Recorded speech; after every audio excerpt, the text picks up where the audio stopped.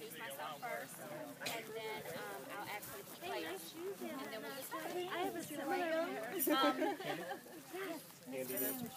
Nice to meet you. Andy New. Okay, so as the officiant, um, do you like to run rehearsal? I always defer to my officiant. So do you like to run rehearsal? I'll or? tell you what.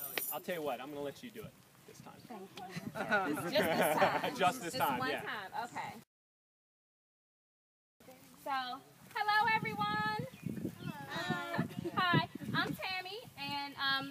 Is Alana, Aiden, and Angie. We are four of the six planners that'll be helping you guys out tomorrow. Um, we want to get started with rehearsal. So first things first, can I have my seat? Guys, if I can have you to my right, can you look in there and look for Liquid Artists and give them a phone call, please? Ladies to my left, who are my honor attendants? Best man and maid of honor. Rena. Hi, Rena. Hi. You're the best. Okay, guys. Interns. There's always one troublemaker groomsman. Be this guy right here.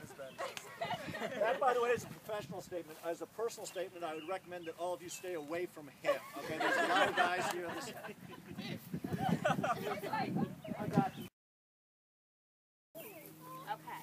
So what's gonna happen is you're gonna stop here. You're gonna walk up. Dad, take Tracy's hand. Yep, and actually hand her over. And then um, you'll take your seat, but you'll actually be sitting on this side tomorrow. So it's very important for you to not step on her train.